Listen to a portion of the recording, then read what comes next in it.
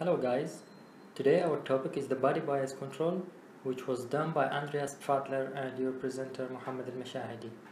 Maybe you are a fan of watching movies, playing games, or maybe just texting your friend on your portable device. Considering this, you need it to operate in different performances and rates of speed. But your concern mostly is the battery life and charging. There is always this relation between your device performance and the power consumption. But what is the real story behind this? Well, while device is nothing but a huge number of processors, ICs, RAMs, and gates, which all are consist of millions or maybe a billions of transistors nowadays, here is the, the link actually. And here we can control and balance between the speed rate and the power consumption. What kind of power we are talking about? First, the dynamic power, which caused usually during the switching either while charging or discharging or when both transistors are barely in a short circuit. What about the static power? In this presentation, we are going to focus on the static power consumption, how it can be changed by varying the threshold voltage using the body bias effect. We can classify the static leakage as subthreshold leakage and gate leakage and some others like junction and contention leakage as you can see in the equation. But let's concentrate on the subthreshold leakage as it is usually the dominant source of static power. We know that threshold voltage depends on substrate voltage as it is obviously shown in the equation here. Knowing that the surface potential and the body effect coefficient are usually fixed for each transistor the only thing here we can variate is the substrate voltage. Now, subthreshold leakage current flows when a transistor is supposed to be off. And given the equation in that case, where I off is the subthreshold current at VGS0 and VDS equal to VDD, and knowing that the other parameters in this equation are constants, we can simplify it to be as we can see here showing that the substrate voltage is the only variable that we can change it beside VDD and according to that we can now manipulate the supply voltage or applying a body voltage to further decrease the leakage and improve the speed rate. But how?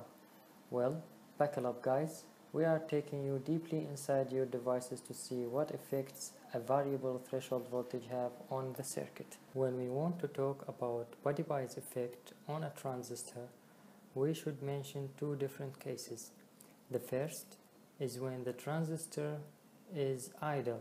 A reverse body bias may be applied increasing the threshold voltage, which will decrease the saturation current, then increasing the delay leading to decreasing the maximum frequency.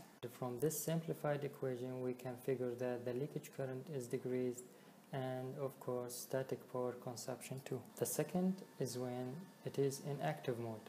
A forward body bias is applied to reduce the threshold voltage of the device, increasing the leakage current and the static power. The performance will be better as the saturation current is increasing reducing the delay, increasing the maximum frequency. But there is a kind of trade-off when forward body bias is applied. We can reduce the supply voltage, which will decrease the dynamic power, which gives sort of a balance between the increment of static power and the decrement of the dynamic power consumption in total. Now you can see how your device circuit balance between your different usages and we will see that in our example later. But before that, let's talk about another technique used when the transistor is in idle mode, called the power gating. What is power gating? In a brief, it is the easiest way to reduce the static current during sleep mode. It is to turn off power supply to the sleeping block as shown in the figure. The logic block receives its power from a virtual supply voltage. How it works? Well, when the transistor is in sleep mode, the header switch turns off, allowing the virtual supply voltage to float and gradually sink to zero. And when it goes active, the header switch transistors are on, connecting the virtual supply voltage to the main supply voltage, leading to the normal operation.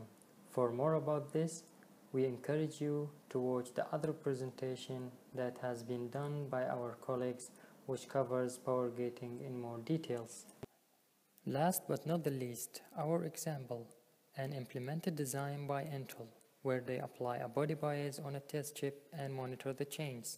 And as shown in the graph, when a zero body bias applied, they reduce the supply voltage from 1.35 to 1.28 volt, which decreased the dynamic power. But the performance will be slow, and here is the magic of applying a forward body bias when they operate on the reduced supply voltage. Look at the step up of the frequency here.